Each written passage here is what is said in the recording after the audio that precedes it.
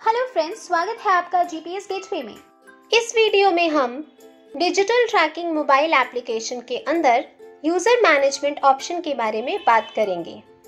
सबसे पहले आपको अपने मोबाइल में प्ले स्टोर से डिजिटल ट्रैकिंग एप्लीकेशन को इंस्टॉल करना होगा। इंस्टॉल करने के बाद आपको इस एप्लीकेशन को ओपन करना होगा और इसमें लॉगिन करना होगा।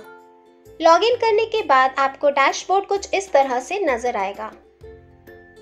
स्क्रीन के निचले हिस्से पर अब आप एक ऑप्शन देख सकते हैं यूज़र का।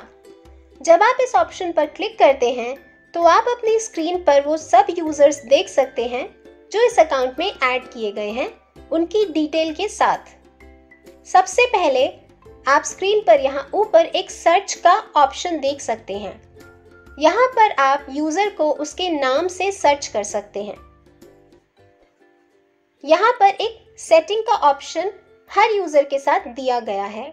जब आप इस पर क्लिक करते हैं तो आप यूज़र के वो सभी रोल्स देख सकते हैं जो उसे असाइन किए गए हैं। इससे आप ये भी देख सकते हैं, वो सारे रोल्स जो यूज़र को असाइन नहीं किए गए हैं।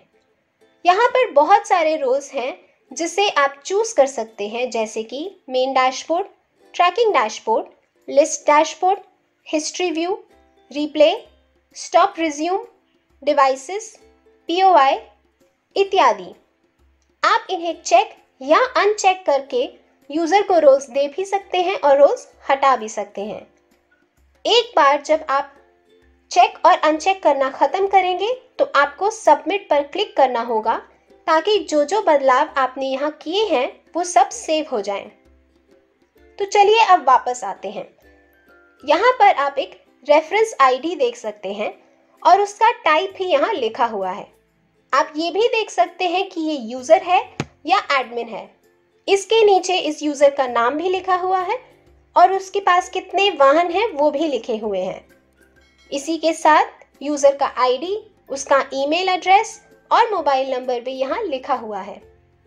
अब आप सीधे हाथ पर यहाँ तीन डॉट्स भी देख सकते हैं। जब आप उन पर क्लिक करते हैं तो आपको कुछ इस तरह की स्क्रीन नज़र आएगी। यहाँ पर आप व्यू पर क्लिक करेंगे। क्लिक करते ही आपको जो जानकारी नज़र आएगी वो है प्रोफ़ाइल कंपनी पासवर्ड अब आप यहाँ स्क्रीन के नीचे डीएक्टिवेट का ऑप्शन भी देख सकते हैं।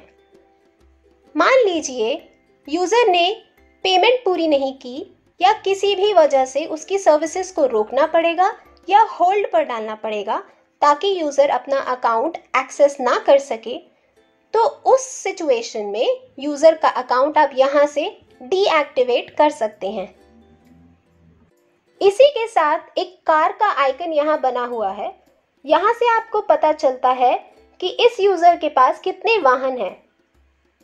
यहाँ पर आप आईएमआई नंबर मोबाइल नंबर और व्हीकल का टाइप भी देख सकते हैं।